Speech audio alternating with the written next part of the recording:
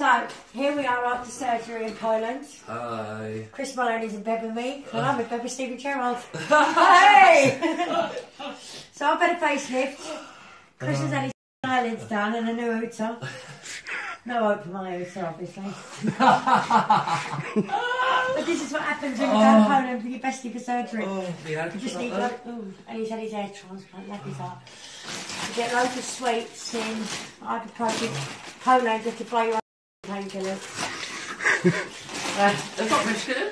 I know, M&M's a biscuit and it don't get much better. A little bit of fruit and veg. Snapchat.